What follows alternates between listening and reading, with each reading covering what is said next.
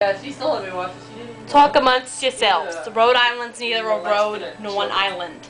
No, Discuss. he got caught whacking off in an adult movie. I remember. No, I thought you also It was 1965. No? No. I was he didn't do 16 years old. That was the dude It was my birthday. What outside Paris I, it, it was hot outside.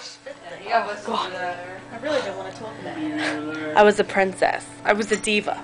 And then all of a sudden, There No was one a else disputes it. freaking Undisputed I'm 40 years speaker old. at my I have orientation I live in a Friday townhouse in Brooklyn. was And by a talking like townhouse, that. I It mean was I a live in the lady. garage of the people who own the townhouse. in You'll have really great. I'm a secretary in an office building.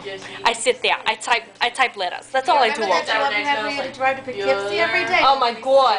Oh my god. What a hassle. Yeah, like, I was Getting on the excited train and now, shit. like, Oh midnight god. This chocolate is to die for. Oh, I know. And I did it for like a minute. What did I I just kept saying it over and like. You know, but it's okay. around me was, Being like, 40 is okay. I just kept saying it. I got my was us weeklies for every day of the week. I got my TiVo. Oh, this is right. Oh, And I've got right my 16 took cats. off. Yeah, and she's Don't one forget You know- about your Yes. stories. out. Don't forget Yes, about and Days then- Alive.